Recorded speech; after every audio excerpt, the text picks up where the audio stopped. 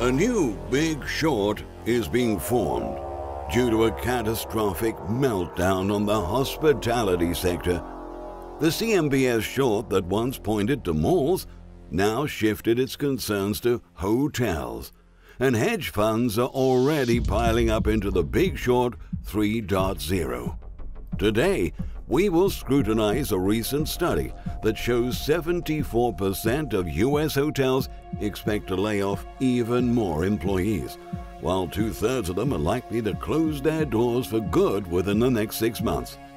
As of now, it's been clear that a real recovery is out of the horizon. So let's dive into another investigation to get a better grasp of the new unfoldings of the economic collapse. Stay with us and don't forget to like this video, share it with your friends, and subscribe to our channel to keep updated with the next chapters of the 21st century Great Depression. Since the sanitary outbreak struck America, shaking the grounds of the fragile economy, the hospitality industry has been reeling and constantly needing federal relief. The American Hotel and Lodging Association, AHLA, released a research disclosing alarming new data pointing to a downfall in the sector. Right now, 68% of hotels have less than half of their normal staff working full time, and more than two thirds of hotels revealed they would not be able to last six more months at the current projected revenue and occupancy levels, while half of the hospitality owners surveyed affirmed they're in risk of foreclosure. Additionally, 74% of hotels said they would be forced to lay off more employees if they don't receive further government assistance. A month ago, another poll published by the AHLA showed that the unemployment rates within the hospitality and leisure sector was at 38%, which configures almost four times that of the national average of 10.2%. In an attempt to save the industry, the organization is appealing to lawmakers for an urgent pass on additional federal relief. Chip Rogers, president and CEO of the AHLA, said it's time for Congress to put politics aside and prioritize the many businesses and employees in the hardest hit industries. Hotels are cornerstones of the communities they serve, building strong local economies and supporting millions of jobs. Every member of Congress needs to hear from us about the urgent need for additional support so we can keep our doors open and bring back our employees. The AHLA survey found that urban hotels have been particularly affected and their occupancy rates are increasingly dropping, having only 38% of their capacity in use. Meanwhile, the hospitality data provider STR released a study that indicates the average occupancy rate for all U.S. hotels last month was 48.6%, marking a minor upturn of 1.6% compared to July. That signaled the lowest occupancy rate for any August since the STR started recording this data in 1985, and the company declared to believe that U.S. hotel demand will not fully recover until 2023. Chip Rogers says our industry is in crisis. Thousands of hotels are in jeopardy of closing forever, and that will have a ripple effect throughout our communities for years to come. We need help urgently to keep hotels open so that our industry and our employees can survive and recover from this public health crisis, said Rogers on a recent note. The CEO also warned that if by the end of this month business travels don't resume and funding from the Paycheck Protection Program runs out, over 8,000 hotels are in danger of closure. Accordingly, the AHLA stated that only 20% of hotels have obtained some sort of debt relief from commercial mortgage backed security lenders on Wall Street highlighting that without federal aid, there will be a massive wave of foreclosures in the industry. According to the latest Manhattan Lodging Index from PricewaterhouseCoopers, almost 60% of Manhattan hotels are still closed. As a result, The report indicated that roughly 61,450 hotel rooms in Manhattan had not reopened until early September, and nearly 2,700 of these are likely to be shuttered permanently. Managing Director of U.S. Hospitality and Leisure for PwC, Warren Marr, said, We won't see meaningful increases in operating metrics for Manhattan hotels until we see a return of the business traveler. And that likely will come after a widely distributable vaccine and therapeutics become available. In the meantime, some properties are already shutting down their activities for good. Some hotels revealed to have no more conditions to remain open. Among the hotels lost to the virus induced recession are the Omni Berkshire Place, Times Square Edition, Hilton Westchester, West New York Downtown, and the Hilton Hotel Times Square. All of them are based in New York State.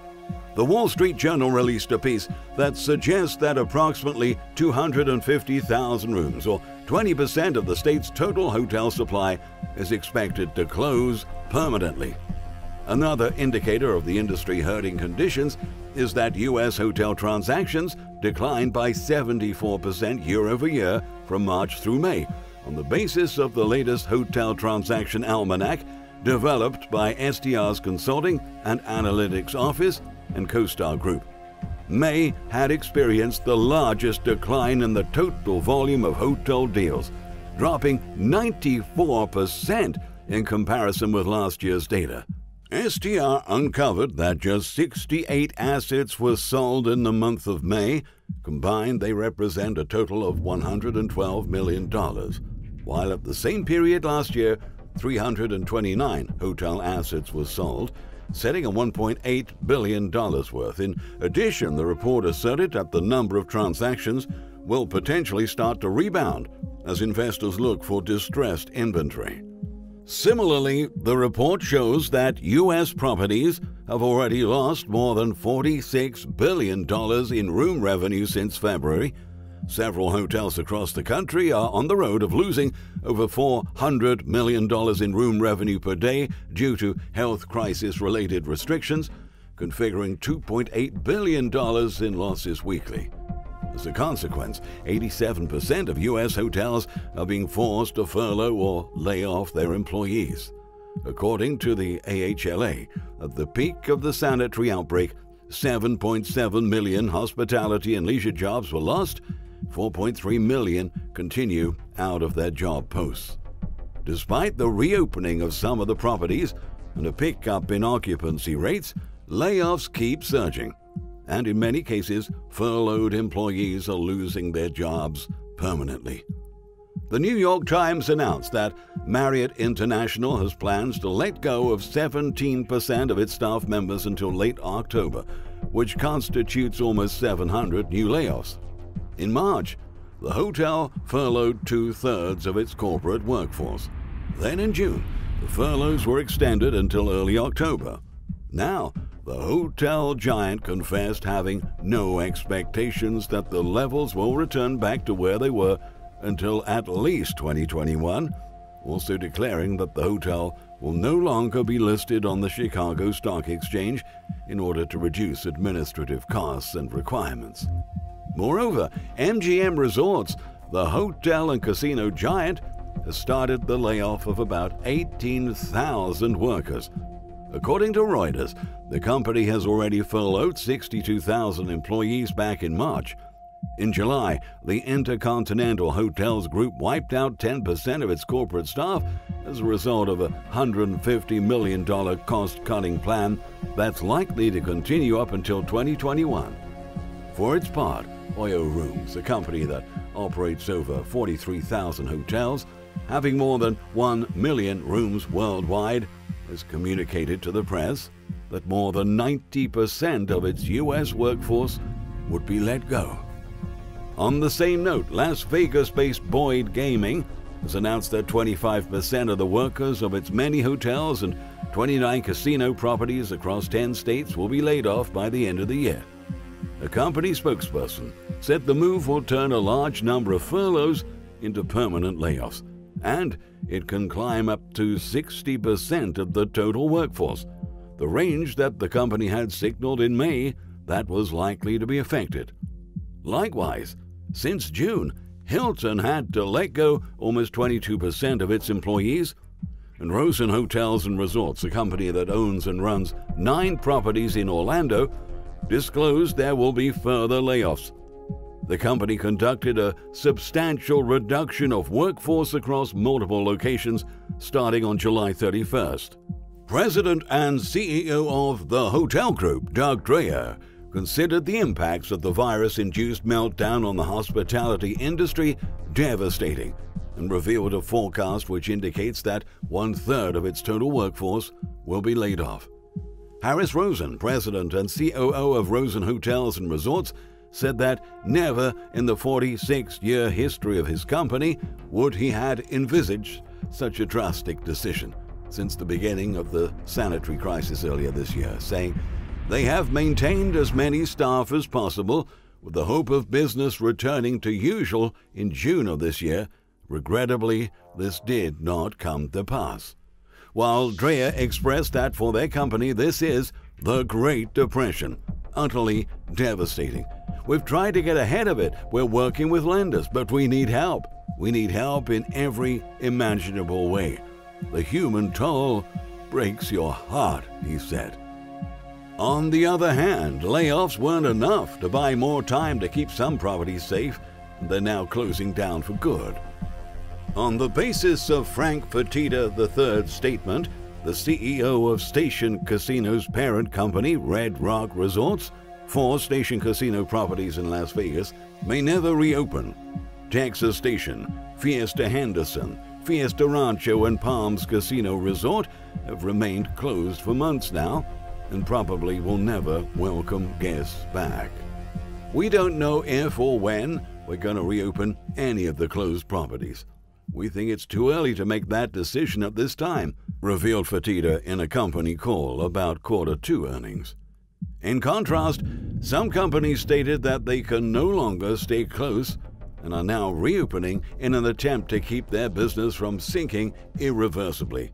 In Connecticut, the tribal casinos Mohegan Sun and Foxwoods Resort Casino reopened, applying new safety protocols to keep guests and staff members safe.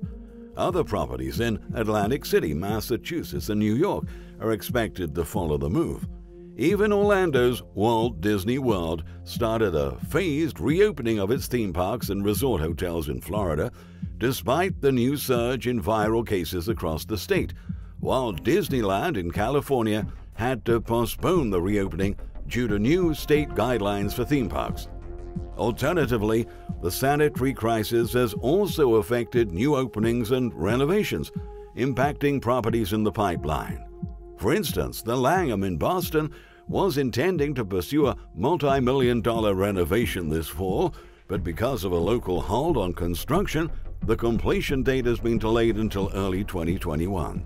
Equally, the grand opening of Universal's Endless Summer Resort, Dockside Inn and Suites has also been postponed. And according to Marriott president and CEO Arne Sorenson, it's expected fewer hotel deals to be opened and signed in 2020 than the company previously anticipated. In fact, the company has temporarily suspended most brand standards to assist owners and franchisees, which included rescheduling renovations that were supposed to happen in 2020 by one year. In March, Sorenson said in an investor update that the current collapse, boosted by the health crisis, was fast becoming the most significant event to ever impact their business. That includes the 12 month period after 9 11 and the financial crisis of 2009. At the point, he noted that the development pipeline is not ground to a complete halt, saying, We've been signing deals and with development committees that are meeting monthly. The volume is lighter, the numbers will be lower than we expected, but they won't be zero, he said. In any case, the shift seen in trade flows have been pointing that the delinquencies on hospitality property loans are soaring at unprecedented levels, even beginning to exceed those in retail. And now it's likely to form the next big short on CMBX S9 BBB tranche due to its exposure in the sector. That is to say, the collapse of the hospitality industry may as well be the most profitable short in recent history, even though the Fed's policies have effectively made shorting almost impossible.